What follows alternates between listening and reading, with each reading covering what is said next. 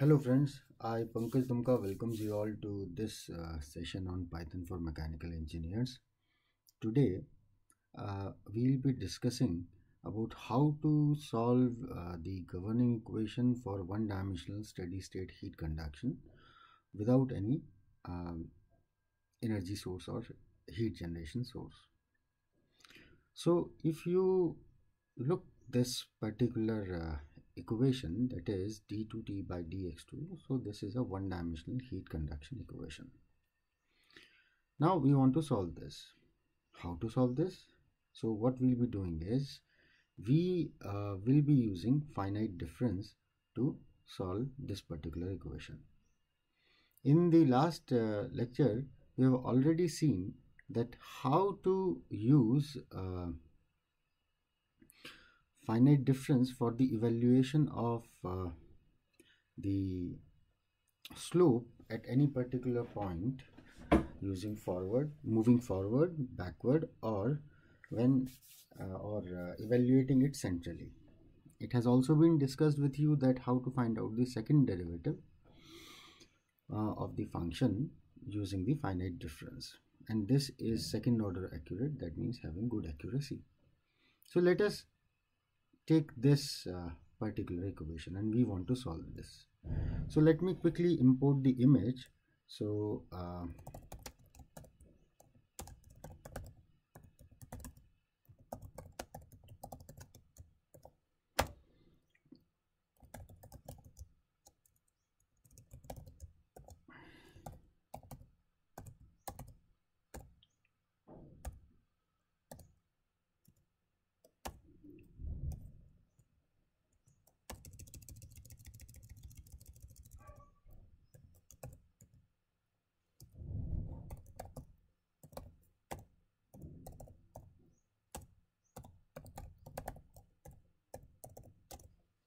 so this is the problem in hand. So let me increase the width and this height a little bit. Okay so this is the one.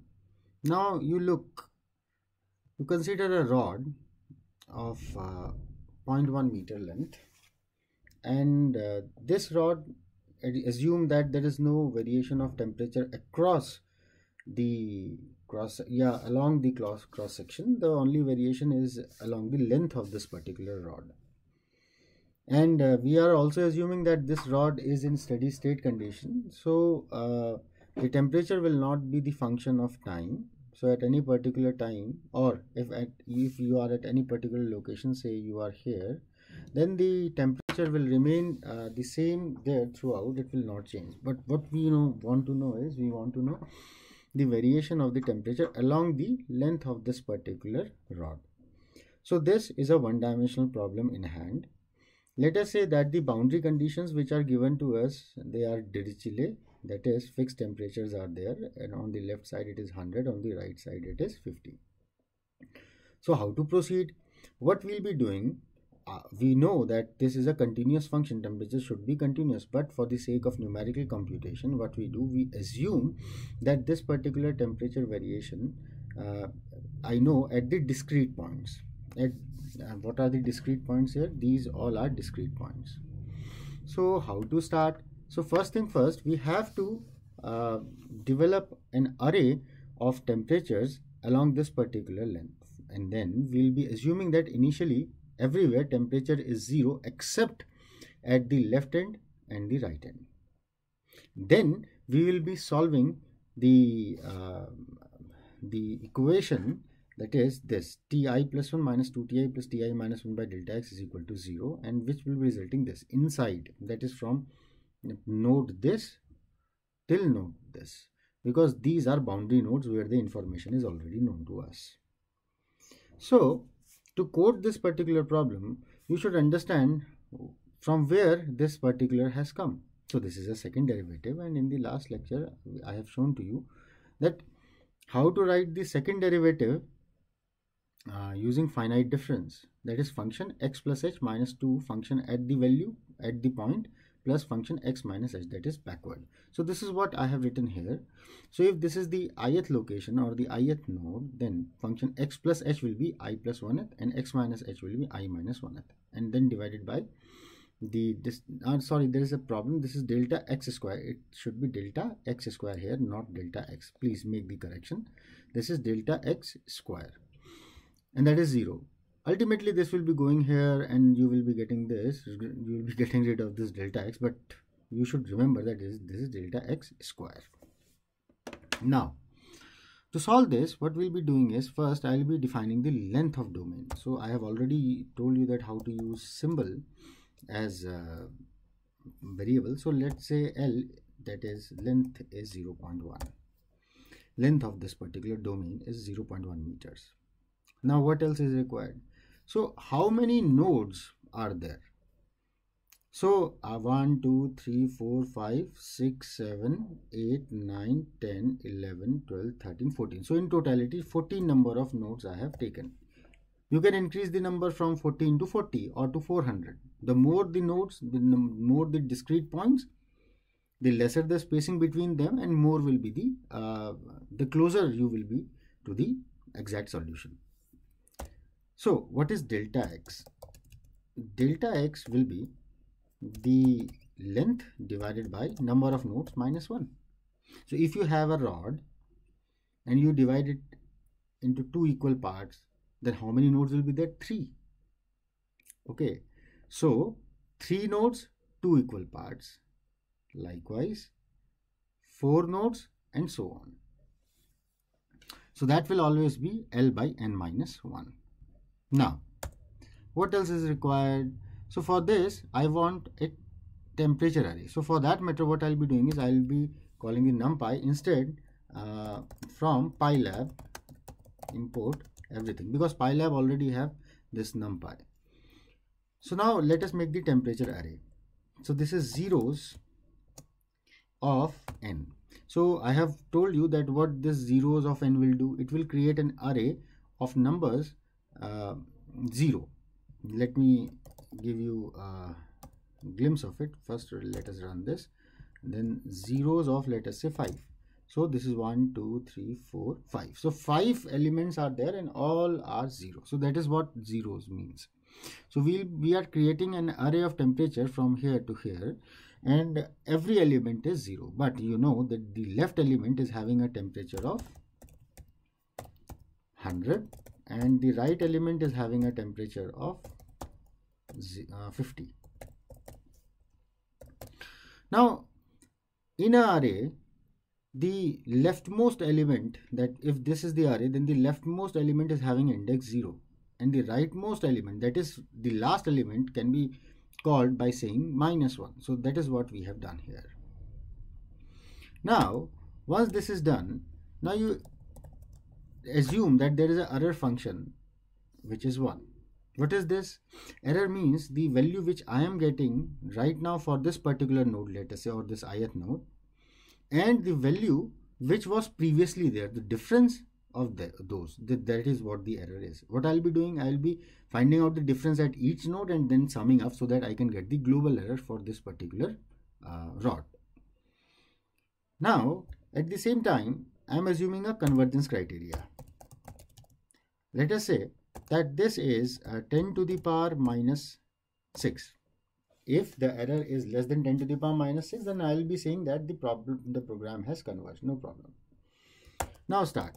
While this uh, error is more than this uh, epsilon then what I'll be saying? That the that you move into the loop. That means the, the the final answer has not yet appeared.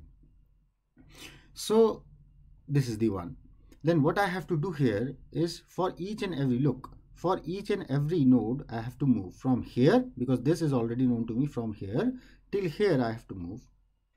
And then I have to repeat the procedure. I have to uh, find out there and repeat the procedure. So for that matter I have to use the loop for i in range 1 to n minus 1 and then what I have to do is I have to find out this value ti that is ti plus 1 plus ti minus uh, 1 by 2 that's it.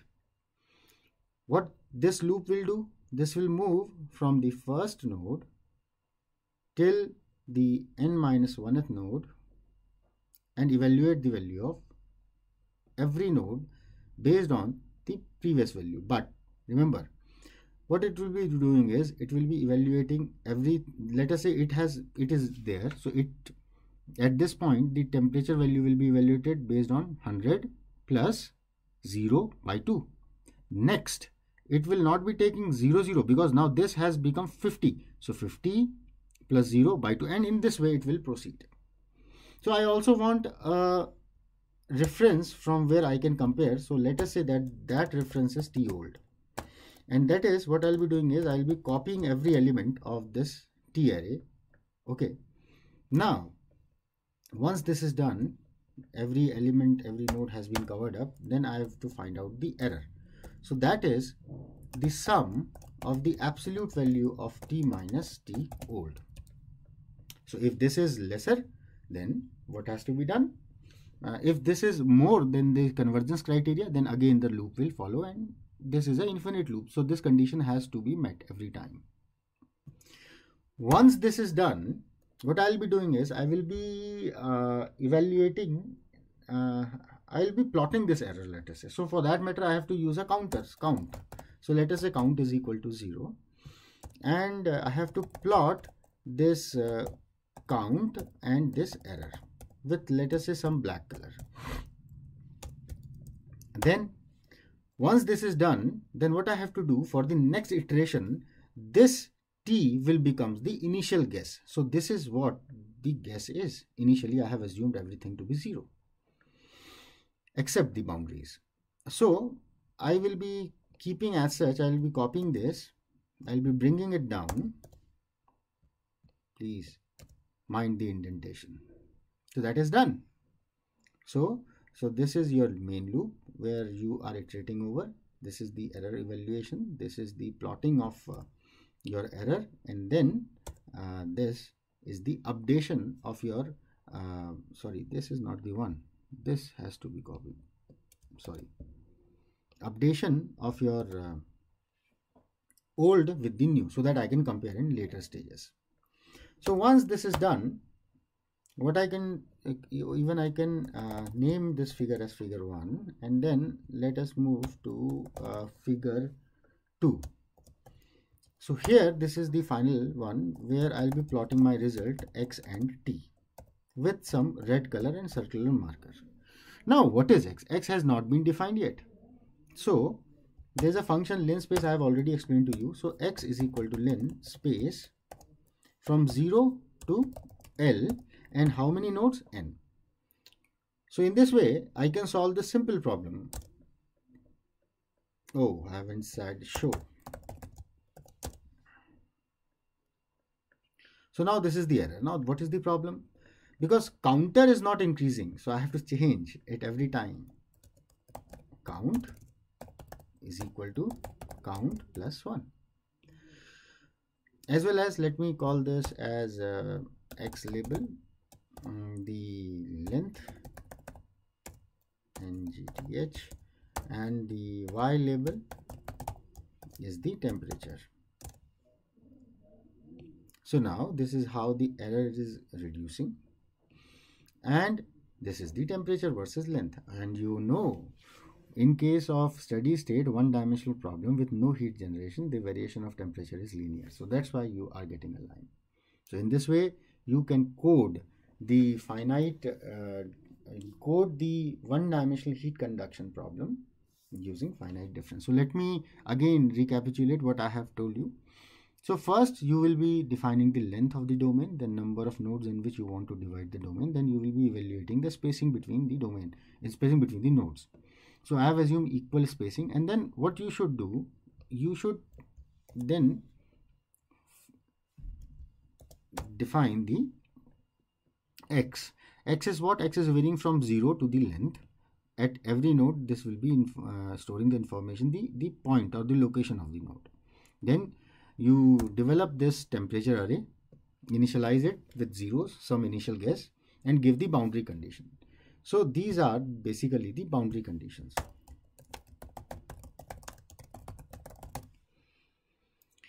Once this is done, then you will be copying this whole array into the new some arrays let us say old t old i'm saying because this is what with which your uh, code will be comparing every time then you set an array counter as 1 because not counter the value of error is 1 so that it can move into the loop. And then this is the convergence criteria 10 to the power minus 6 if you want more precision then you can move to 10 to the power minus 8 or 10 then this is the iteration counter that how many iterations have taken place and then you will be moving into the while loop.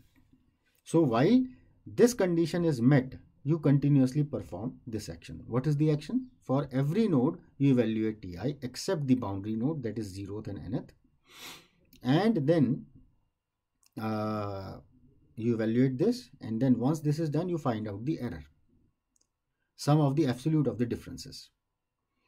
Then you plot the error and then if the convergence is met it will be coming out. But if not then what to do? We have to uh, make the new values uh, obtained here as the guess for the next iteration.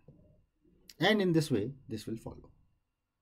Sometimes some people do what they instead of plotting this they plot semi log y. So that you can view the error uh, in a better way like this. So that's all for this particular lecture. In the next lecture, we'll be trying to solve the same problem but, but with uh, heat generation. So thank you very much for watching the video. Take care.